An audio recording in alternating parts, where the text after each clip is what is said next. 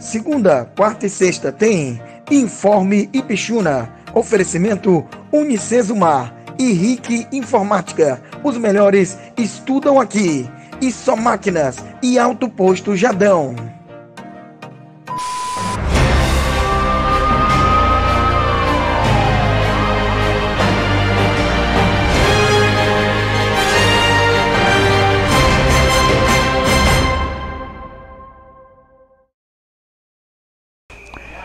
Olá, gente, estamos começando o nosso Informe Pichuno de hoje. Hoje, 17 de maio de 2021, estamos começando aqui pelo nosso Facebook também pelo YouTube, viu? Você quer ver no YouTube, fica sempre lá no YouTube, também salvo. No Facebook também fica salvo para você se ligar nas nossas notícias aqui. Olha só, em nome de Rica Informática, Universidade Unicesumar, Só Máquinas e também é, Alto Posto Jadão, estamos aqui iniciando nosso Informe Pichuno. Atenção, ó, decreto municipal de Pichano do Pará vai sofrer alteração.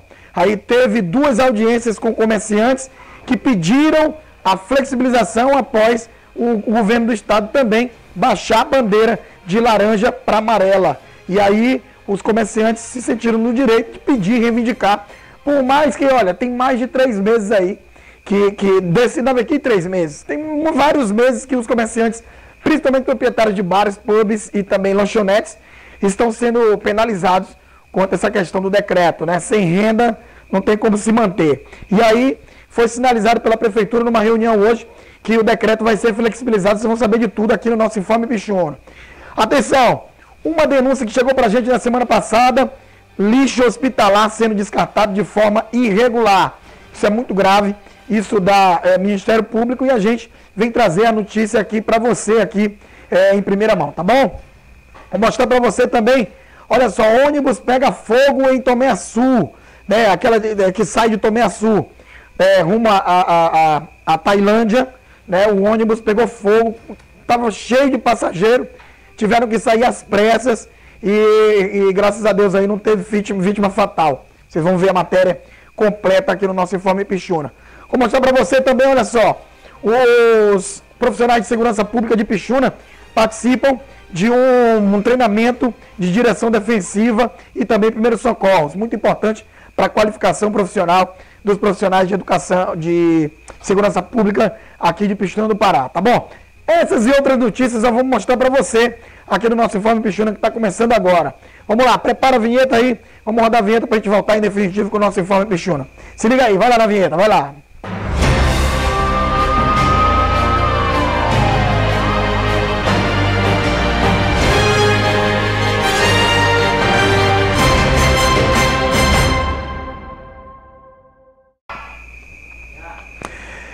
Pronto, estamos de volta. Agora sim, estamos de volta, estamos de volta.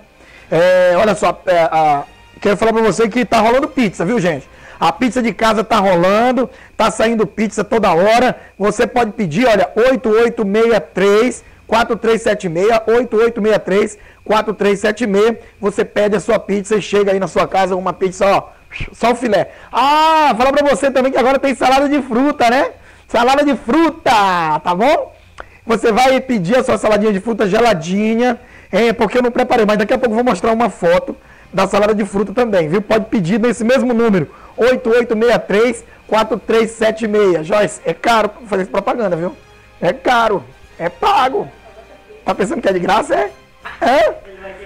Pode pedir, pode pedir. Salada de fruta geladinha e também é, pizza de casa. Para pensar, minha família tá um empreendedorismo danado aqui em casa. Tô gostando de ver. Vamos nessa, começando nosso jornal, olha só. Atenção, ó. O, ônibus estava transportando passageiros de Tomé para Tailândia. Nesse perímetro aí, sofreu uma pane elétrica, pelo menos é o que a gente acredita, e aí pegou fogo.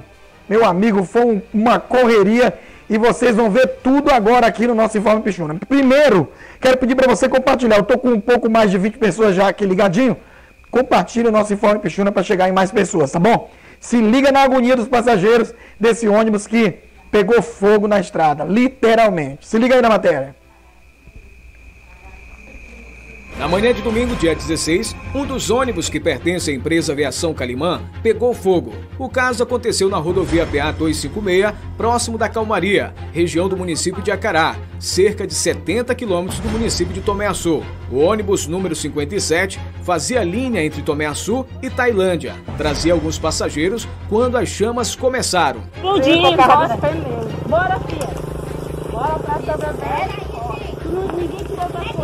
Ai, vai, vai explodir. Todos os ocupantes conseguiram sair a tempo e ninguém ficou ferido. Nossa equipe procurou a gerência local da aviação Calimã para saber um pouco mais sobre o ocorrido. Segundo o gerente, o motorista teve que fazer um boletim de ocorrência para falar um pouco mais de toda a situação que aconteceu nesse último domingo. O gerente não quis dar entrevista, aguardando todos os procedimentos necessários. Mas, segundo informações, o motorista ficou bastante abalado pelo transporte que costumava trabalhar pegar fogo repentinamente.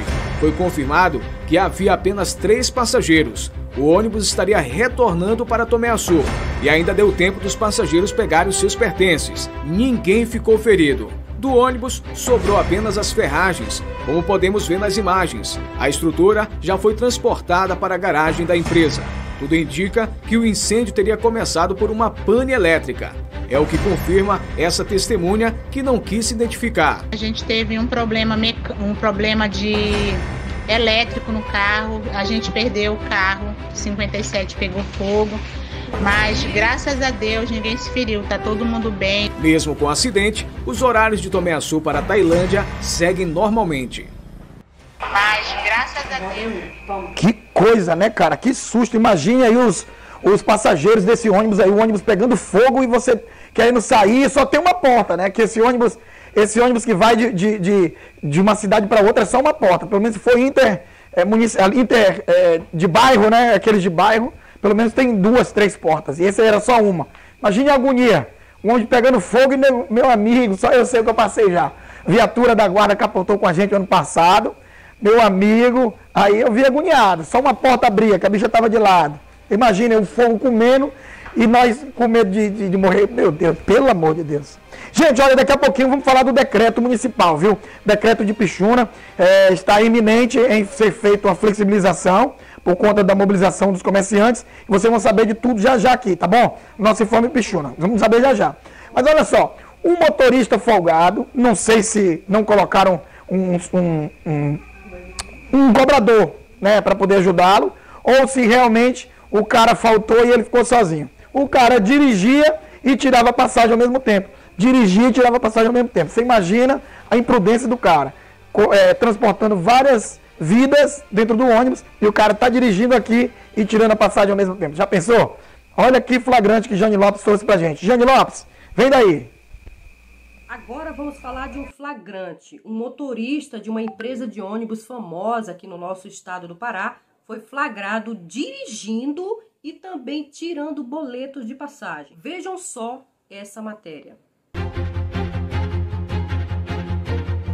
A empresa Boa Esperança, que faz viagens interestaduais, estaria colocando seus motoristas para cumprirem mais do que a função exclusiva de dirigir.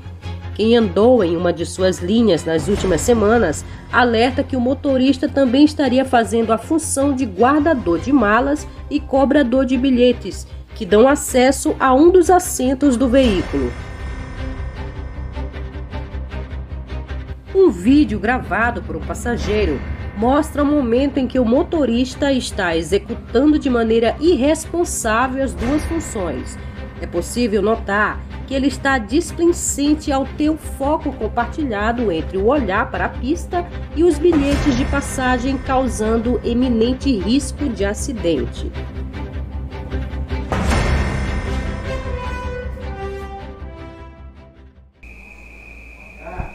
Eita, meu irmão, coragem, viu? Coragem mais é os passageiros ainda. Que não deram uma bisca nesse motorista aí. O cara tá dirigindo e ele tá devagar, não. Ele vem andando rápido mesmo e vem tirando a passagem, não tá aí tranquilo. Meu amigo, faça isso não, pelo amor de Deus. O soldado do gesso está botando aqui embaixo, ó. É, sem contar que a porta do ônibus é aquela que tem motor, que abre assim, ó. Você imagina na agonia, você imagina na agonia do fogo pegando no ônibus e você esperar a porta fazer. Pelo amor de Deus, não. Pelo amor de Deus, não gosto nem de pensar. Não gosto nem de pensar. Vamos lá então, olha, continua nosso jornal. É, vou mostrar para você agora que hoje fizemos a cobertura de um hospital que está aqui em Pichuna fazendo uma grande ação, ainda vai acontecer durante toda essa semana, para você fazer exame de vista gratuito. Tem toda uma, uma, uma, uma questão para facilitar para você fazer o exame de vista nesse hospital Rodrigues Landi, tá bom? Landim, que está é, no centro universitário fazendo. Hoje teve, amanhã também tem. E sabe como é que você pode ter acesso? Liga para o seu ACS e peça para ele reservar para você, tá bom? Se liga na matéria aí. Vamos lá, Felipe. A ação está acontecendo no centro universitário e respeitando todas as medidas sanitárias para evitar a contaminação do Covid-19. O Dr. David Landim faz a primeira parte do atendimento, esclarecendo dúvidas acerca das patologias que afetam a visão. O trabalho não pode parar, principalmente as pessoas que têm, fazem o tratamento do glaucoma. Né? A gente vai, o paciente for diagnosticado glaucoma, a gente vai fazer a doação do medicamento.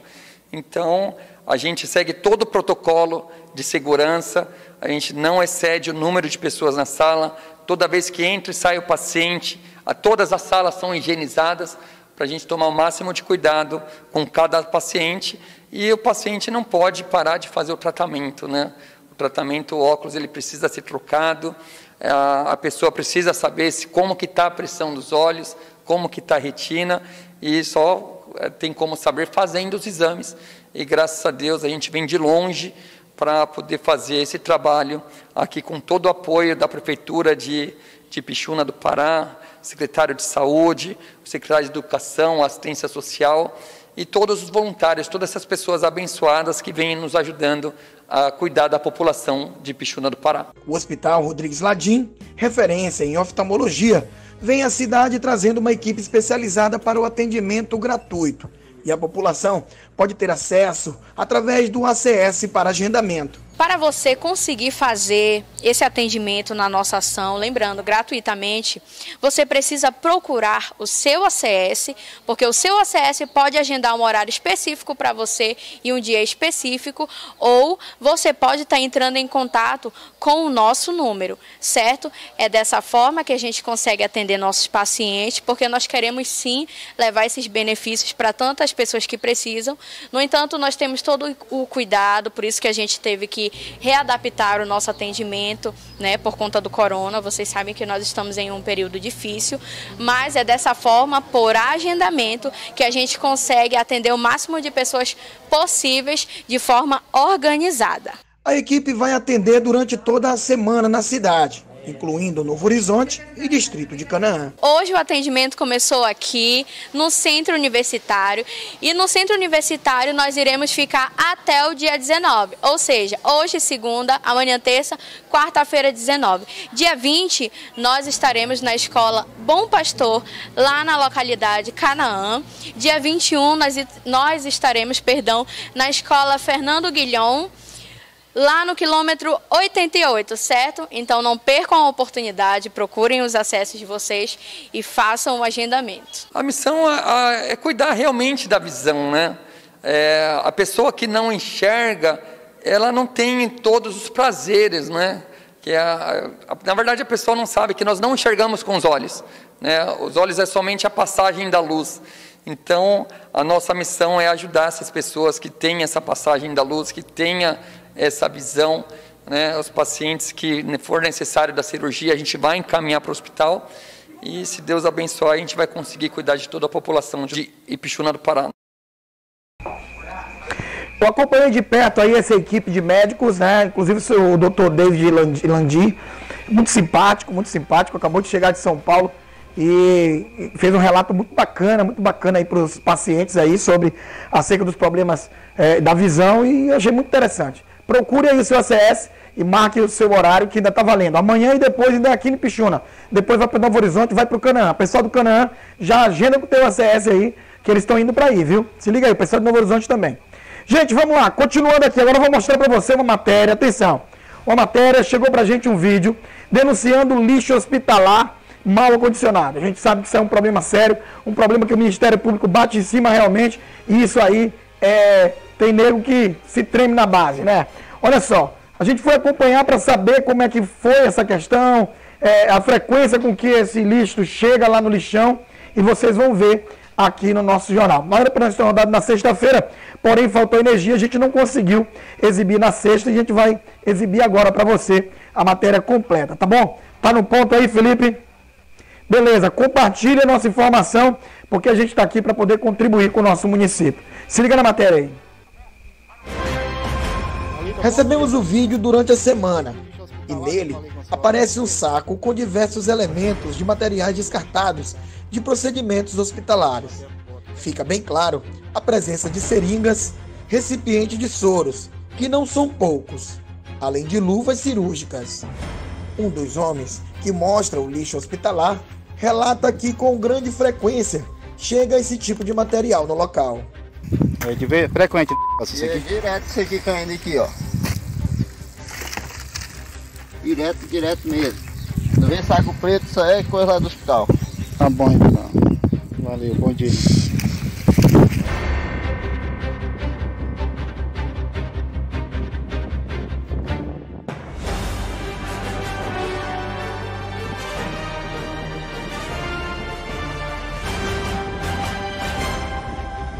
São considerados resíduos hospitalares os materiais descartados de farmácias, hospitais, clínicas, postos de saúde, estúdios de tatuagem, laboratórios de análises clínicas e demais organizações que produzem quaisquer tipos de resíduos contendo secreções ou contaminações, com restos cirúrgicos de humanos ou animais. Todas essas empresas são obrigadas a descartar seus resíduos através de uma empresa especializada, no sentido de incinerar de forma correta o descarte. Nossa equipe de reportagem veio até aqui, a Secretaria de Meio Ambiente, para ouvir os técnicos ou até mesmo a secretária de Meio Ambiente, Talita, para procurar saber de como é a questão da fiscalização do descarte do lixo total da cidade, principalmente do lixo hospitalar, porque a gente sabe da forma correta que tem que ser descartado o lixo. E se chegou até o lixão, o meio ambiente deve saber de como está essa situação do descarte. Segundo a secretária de Meio Ambiente, Talita Brito, a denúncia é grave e a equipe de fiscalização vai apurar o caso. Recepcionamos a denúncia aqui no Departamento de Fiscalização, né, na terça-feira, a respeito do, de, do descarte ilegal, né, do lixo hospitalar, né. E então, desde terça-feira a gente tem apurado aí, fazendo esse levantamento, né, para que a gente possa de verdade entender né, em que quem foi que descartou esse lixo de forma indevida, né, sabendo que o prejuízo à saúde humana ela é, ele é, ele é muito é, ruim, né, ele causa muito, muito, muitos danos. Então a gente está investigando, fazendo essa investigação para que a gente possa de fato punir né? E, e tomar a, a, as medidas cabíveis às pessoas que, ou a empresa, ou às pessoas que fizeram o descarte ilegal desse resíduo. Durante o acompanhamento da denúncia, a secretária solicitou fotos da forma correta como está sendo descartado o lixo no Hospital Santa Clara e também no Hospital do Covid. E nas fotos apresentadas, mostra o lixo acondicionado em caixas. Agora, a investigação continua. Nós vamos fazer essa investigação, inclusive com as pessoas que, que são catadores hoje no lixão, para ver a forma como ele foi descartado lá, se foi pela empresa ou se foi um terceiro que chegou a descartar esse lixo lá. Né, para que a gente possa fazer esse levantamento. As farmácias, elas, produ elas também produzem né, os remédios vencidos e, e, e vacinas, né, e, então tudo isso também ele, é, ele também precisa ser descartado de forma correta, também por empresa especializada. Então, o que nós vamos investigar agora é ver se, se inclusive, esse descarte veio por um terceiro, né, por alguma farmácia aqui em Pichuna. Segundo a secretária, a empresa contratada para recolher o lixo pode ser penalizada se for detectadas irregularidades. Aqui em Pichuna, a, a empresa que coleta, né, que é prestadora de serviço, é a Preserve, ela tem licença ambiental para fazer é, a coleta de lixo hospitalar, tanto doméstico quanto hospitalar. Né? É uma das poucas empresas no, no Pará que tem essa licença ambiental para fazer essa coleta. Né? E claro, para ela poder ter essa licença, ela cumpriu todas as medidas ambientais e, e de segurança né, para poder acondicionar, recolher né, e levar à incineração esse resíduo. Esse resíduo ele não pode ser descartado né, in natura, ele tem que ser incinerado. Né? Então, essa empresa ela, ela mostrou né, no, no processo, junto à, empresa, junto à prefeitura, a contratação né, licitatória, que ela tem toda essa condição. Né? Então, se isso está sendo feito de forma inadequada, com certeza cabe as sanções punitivas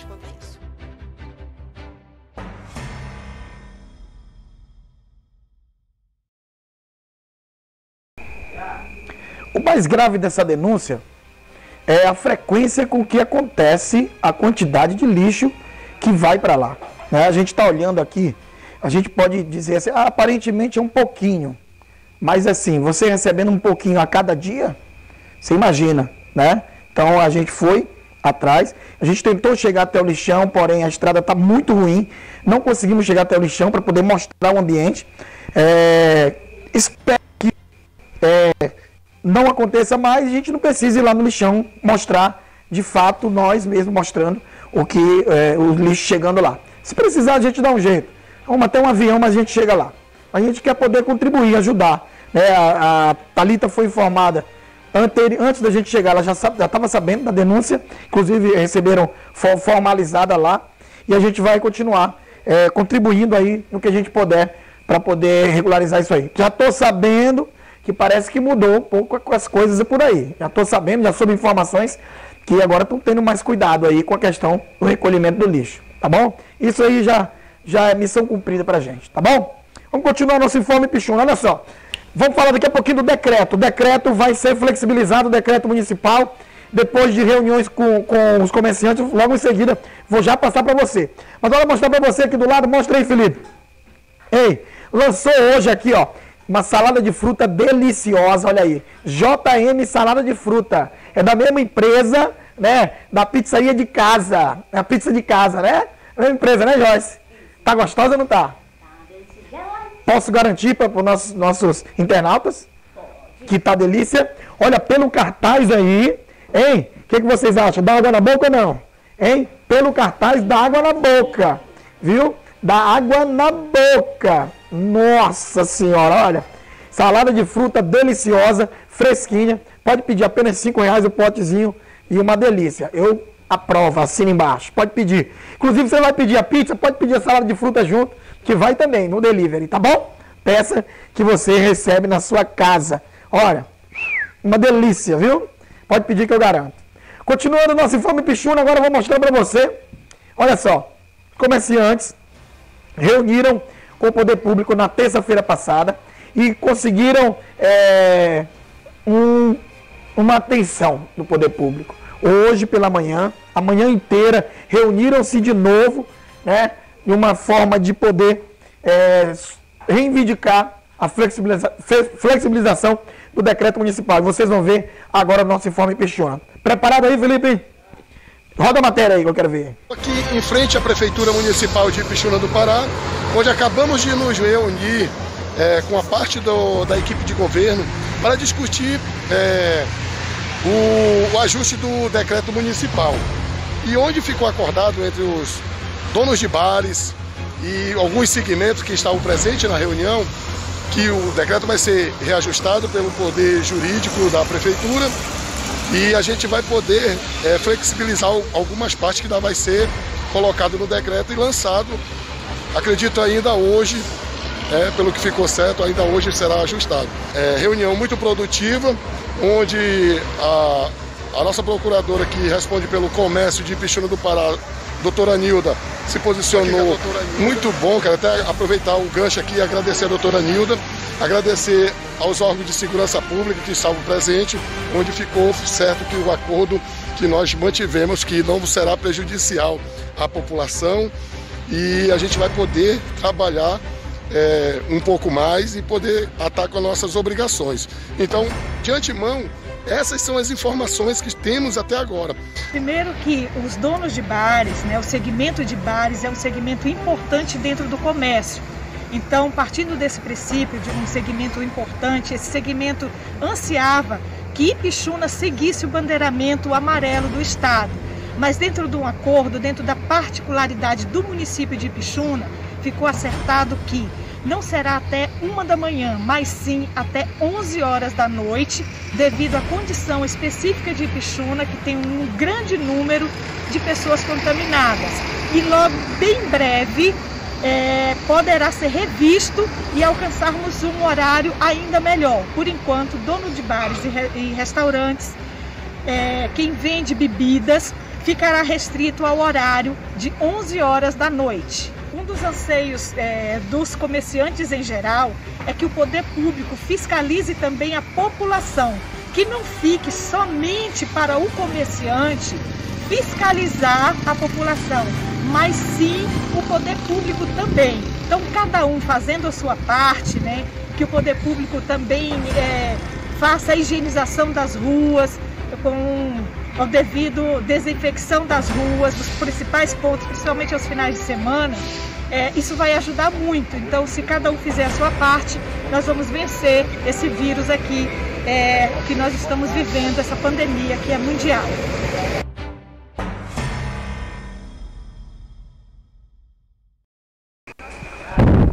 Muito bem, muito bem. Parabéns aí a todos vocês que tiveram coragem de poder falar um pouco, né? Tem que falar, eu acho que tem que discutir, tem que debater. Eu sempre falei aqui que, que falta um pouco, né? Eu acho que falta ter uma equipe é, antenada para estar tá olhando essas coisas, sabe? Tá observando, olha, como é que está o segmento tal, como é que está o segmento tal, como é que eles estão agindo. A própria fiscalização, eu percebo que a fiscalização sai muito à noite, né? Sai muito à noite. Mas de dia, e aí? De dia não tem fiscalização? O que que acontece?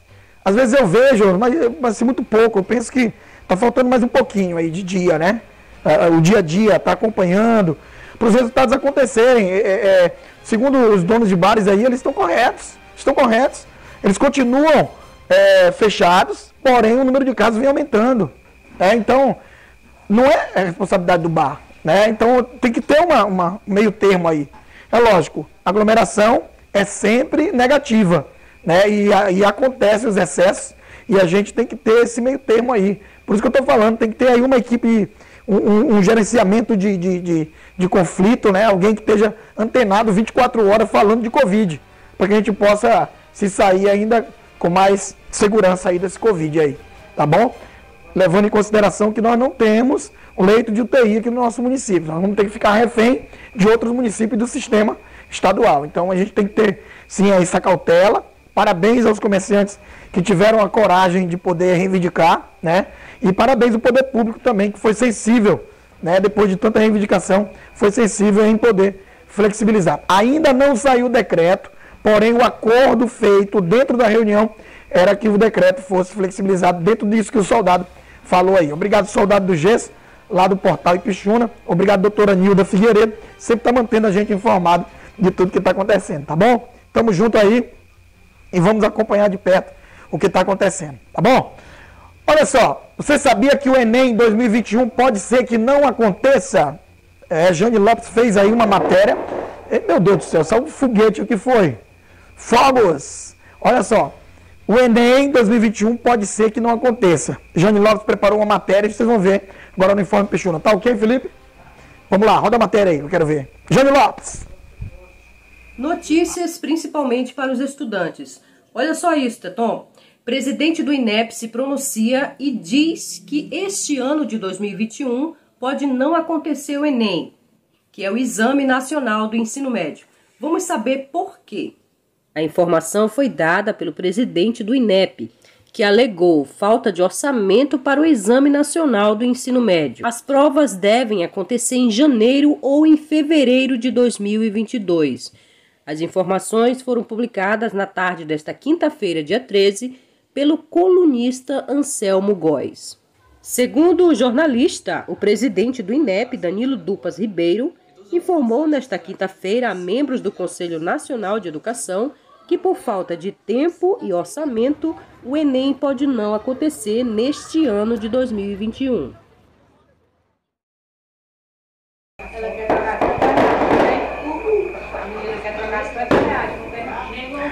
Olha só, beleza. Eu não sei o que está acontecendo, tá foguete aí na rua, foguete aí na rua. Não sei, né? Antigamente era outra coisa, eu não sei o que, que, que seria. Tem foguete aí na rua. Olha só, vamos esperar aí que, que o Enem aconteça, né? De uma forma segura, né? vamos esperar que o Enem aconteça para que não prejudique aí os estudantes já estão aí tanto tempo trancados em casa.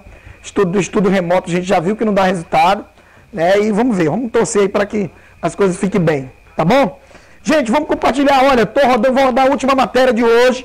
E olha só, atenção, os profissionais de segurança é, pública de, da área do transporte, da área, do, da área da segurança aqui de Pichuna estão é, fazendo um curso de preparação de direção defensiva e também é, de primeiro socorro. Isso é muito importante por conta de algum acidente, a pessoa está preparada para poder atender. Tá bom? Vou mostrar a matéria que a gente vai rodar já já. Mas deixa eu falar, olha só. Nós vamos ter uma viagem pro Aqua, Aquapark. Como é o nome daquele parque lá, e, e, Josi? Que o Benildo está fazendo. Como é o nome, Felipe? Lembra? Em Castanhal, olha, é onde tem o maior tobogã, né? Que, que, que você já viu aqui na região, né? E o Benildo está realizando esse, esse, essa viagem. E vai ser dia 30 lá para Castanhal e nós vamos estar lá, vou fazer uma matéria bacana para rodar aqui no nosso Informe Pichuna e ainda tem passagens, tá? Para você comprar, tá bom? Procure o Benildo, você quer o número do Benildo, pode pedir para mim no meu PV que eu mando para você. Compre a sua passagem, vai ser muito divertido no próximo dia 30 de maio, domingo, cai no domingo, viu? 30 de maio, no domingo, você vai passar o dia inteiro se divertindo no maior